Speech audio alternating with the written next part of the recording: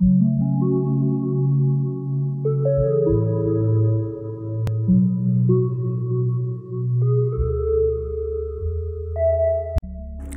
मरहबा अस्सलाम वालेकुम। कैसे हैं जी आप सब लोग? उम्मीद करती हूँ कि बहुत ही अच्छे होंगे, इंशाल्लाह खैरियत से होंगे। तो बस आज का जो मेरा व्लॉग है, थोड़ा सा क्लीनिंग का व्लॉग है, क्योंकि जहाँ हम खाना बनाते हैं, करते हैं, उस जगह को हमें क्लीन भी रखना चाहिए, क्योंकि काफ़ी लोग ऐसे होते हैं कि माशाल्लाह खाना तो बहुत ही ज़्यादा लजीज बनाते हैं बट उनका किचन वगैरह सब बहुत ही ज़्यादा गंदा।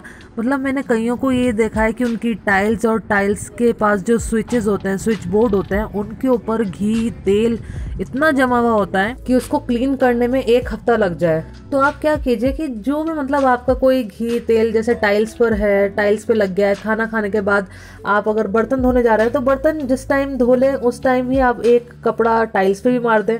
ज़रूरी नहीं है कि उसको डीप क्लीन करें जो चीज़ जब जब गिर रही है, उसे तब तब क्लीन कर दे। अब कई लेडीज़ होती हैं, वो इस तरह कंप्लेन करती है कि भाई, हमें तो टाइम ही नहीं मिलता, हमें बच्चे हैं, बच्चों को देखना है फैमिली को देखना है जॉइंट फैमिली है। चलिए ठीक है जॉइंट फैमिली का मैं समझ सकती हूँ, अगर एक ही के ऊपर ज़िम्मेदारी है तो वो तो गलत है। थोड़ा सा फैमिली को भी सपोर्ट करना चाहिए बट जो जॉब वाले हैं, हो गए हैं, या न्यूक्लियर फैमिली में, आप तो कर सकते हैं ना, आपके पास सैटरडे संडे होता है।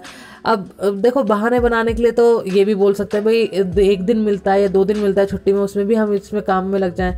देखो, जिसको शौक होता है ना अपने घर को सजा के रखने का क्लीन रखने का, वो इंसान कभी भी करेगा, ठीक है? अच्छा तो और ऐसा भी नहीं है कि अगर आपको करना है डीप क्लीनिंग आप एक ही दिन अपनी कमर तोड़ लें, एक ही दिन पूरा ऊपर, नीचे, दाएँ, बाएँ, सारी सफ़ाई कर लें, ऐसा कुछ भी नहीं है। आप एक एक चीज़ लेके चलिए, एक दिन, ज़रा सा टाइम है आपके पास, एक दिन क्लीन एक चीज़ कर ली। पूरा स्लैब वगैरह तो देखो, वो तो रोज़ का ही काम है, क्योंकि पूरा मतलब सब्ज़ी काटना और रोटी बनाना, करना स्लैब क्लीनिंग और जो चूल्हा है वो क्लीनिंग वो डेली का है। बट जैसे हमारे रैक्स हो गए या और भी कुछ चीज़ें हो गई, हमारे क्या कैबिनेट्स वगैरह हो गए तो उसके लिए आप एक एक दिन चूज़ कर लीजिए या मतलब दिन का आधा घंटा निकाल लीजिए, पंद्रह मिनट एक एक चीज़ आप शेल्फ वगैरह क्लीन कर लेंगे तो आपको भारी नहीं पड़ेगा। और बस ये मेरा कुछ एक प्लांट जो था मनी प्लांट वो सूख गया था। तो बीच में उसकी ऐसे ये वाली जो, जैसे खाली आप देख रहे हैं, ये यहाँ से पत्ते टूट गए थे, बिल्कुल सूख गए थे। तो मैंने ये जो डंडियाँ थी, इसको छोटा छोटा कट करके सबको पानी में डाल लिया था। तो इसकी छोटी छोटी रूट्स निकल के आ गई। तो अब मैं इसको मिट्टी में लगा रही हूँ ताकि इसके पत्ते निकलने शुरू हो जाए। तो मैं बड़े प्लांटर में इसको शिफ्ट कर दूँ और फिर बाद में ये एक अच्छा सा मेरा मनी प्लांट ग्रो हो जाएगा। तो बस इसलिए मैं क्या करती हूँ ना, जैसे ये डंडियाँ हैं, अब मैं इसको फेंकूँगी नहीं एक्स्ट्रा है, इसको मैं दोबारा से पानी में करके रख दूँगी, ताकि इसकी रूट्स और निकल जाएँ और फिर मैं किसी दूसरे जब मैं ये वाला छोटा बॉक्स बड़े प्लांटर में इसको शिफ्ट करूँगी तो जो मेरी डंडियाँ हैं, ये मैं इसके अंदर लगा दूँगी। तो बस जो हमारे प्लांट्स होते हैं, उसको भी मतलब घर की जो रौनक होती है प्लांट्स ही होते हैं तो बस मैं इसको भी इस तरह लगा के इसको पानी वानी दे के एक जगह सेट कर दूँगी। अच्छा मेरी छत पे ना बहुत ज़्यादा धूप है। मतलब पहले वाले फ्लैट में ना बिल्कुल धूप नहीं आती थी, मैं तरसती थी।